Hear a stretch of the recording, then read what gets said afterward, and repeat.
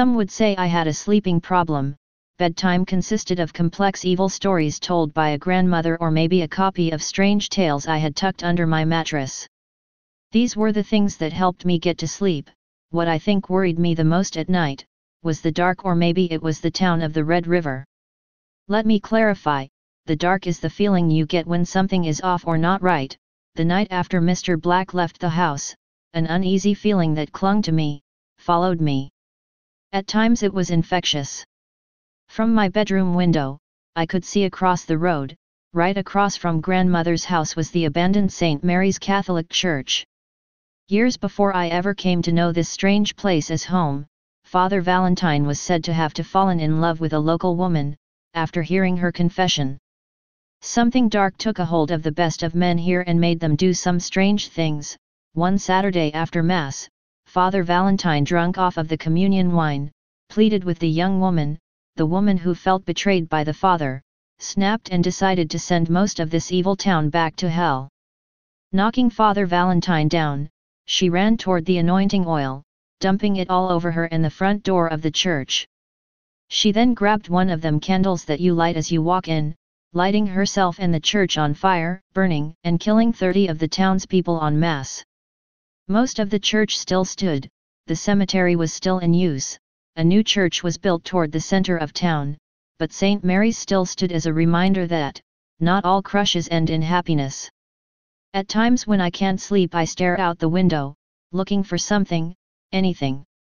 I guess in my mind, if something like that happened at a place, they would be trapped there.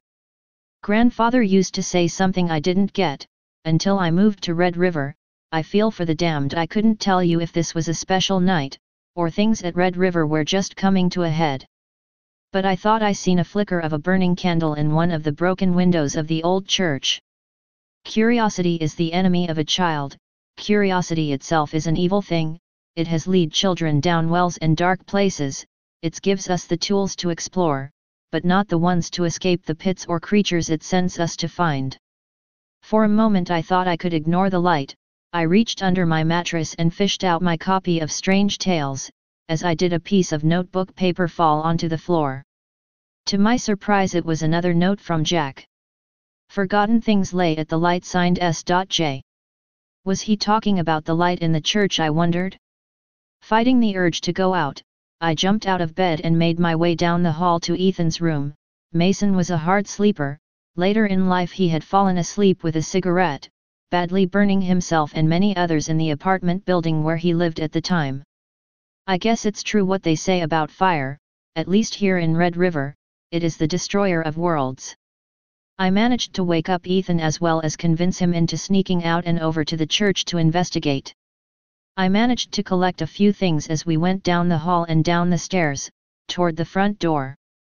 With a flashlight in hand and a baseball bat in the other, we quickly and quietly made our way to the church. The front door had been boarded up, Ethan grabbed the baseball bat and smashed the old wooden slats to splinters. Once inside the church had seen better days, much of it was still black and burnt, one would think that after a few years the smell would leave. But it lingered and was very strong, the air felt heavy, among the ashes old Bibles partly burnt, rested nicely in a pile. This wasn't a church anymore, this was a tomb.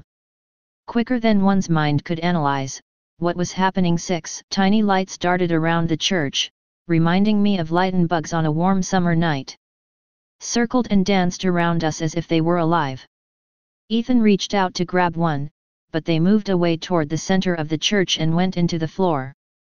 Ethan I think they're trying to show us something, saying as I walked past him toward where they had dissipated. Moving a few of the burnt Bibles, I found a set of keys.